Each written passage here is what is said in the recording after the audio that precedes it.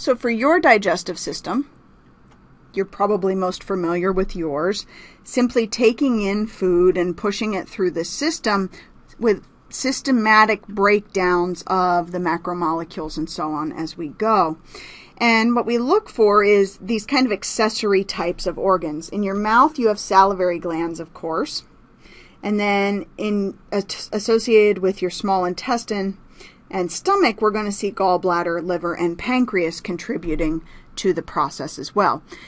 The other key feature for your system is we prevent backflow of food, and we do that using sphincters. So sphincters are round muscles that are going to close off. You see one here at the end of your stomach, or at the end of your esophagus, beginning of your stomach and then one between your stomach and your small intestine. So we're going to regulate flow of food with these sphincters. So they're going to open and close as need be to let things move through the system. And the thing with the sphincter, particularly between your stomach and small intestine, is we don't want food moving out of your stomach too quickly. It needs to go through some grinding and chemical breakdown before it can actually move into the small intestine. So this is a regulatory mechanism. In your mouth, of course, we have salivary glands. You produce about one and a half liters of saliva per day.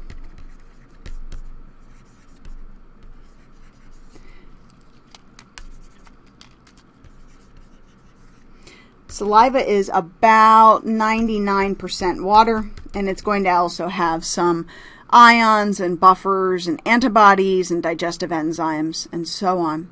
This will actually start to break down food through a process we know as mastication. This is a fancy word for chewing. Mom always says to chew your food.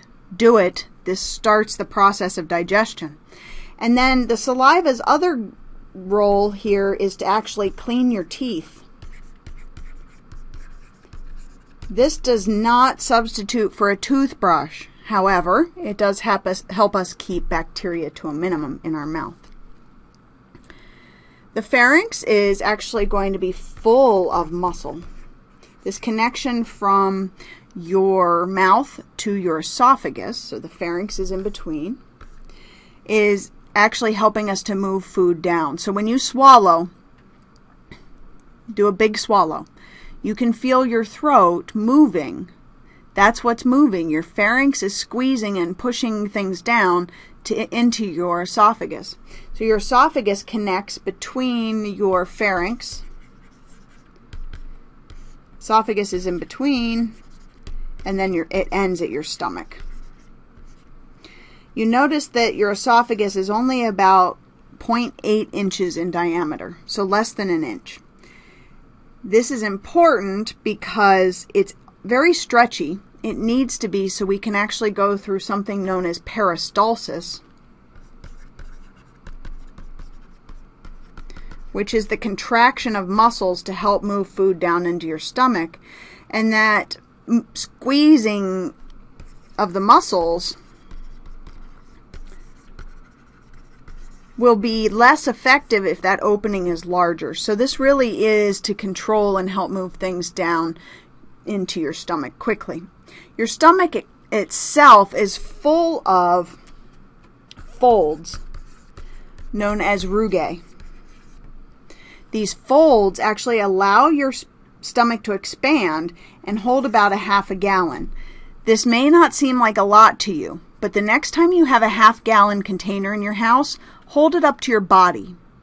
That's how big your stomach can get. Now, yes, depending on the individual, they may be able to hold much more than that, but for most of us, that's what we're looking at.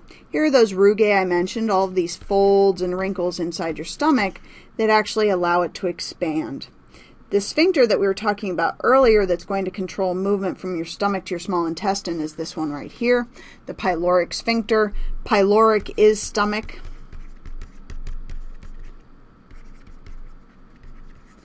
Okay. So that's what we mean. There. The stomach, of course, is going to do some temporary storage for us. It's going to help us mix things up. It will do some absorption, but primarily it's only things like alcohol. We're not absorbing other macromolecules very well or any monomers even very well through here. Uh, the digestion of proteins will start because it turns out that this is a long process to digest proteins. So we'll have to actually start that pretty early on. The stomach has to protect itself because, as we've talked about, the, the pH of the stomach is about 2. So the stomach has to protect itself, and it does that um, by lining itself with a secreted mucus. And that mucus is actually going to coat and protect the inside of your stomach so that you don't eat your own stomach.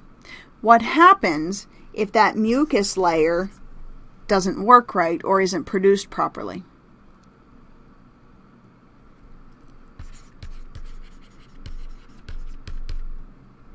What happens? You develop an ulcer. So this is literally your stomach acid, that hydrochloric acid, that is going to maintain this pH of 2 so pepsin can actually work properly and break down proteins in your stomach. But with in its absence of this mucus, this ulcer forms, and this is literally your HCl in your stomach eating your stomach wall. Of course, this is a very bad thing.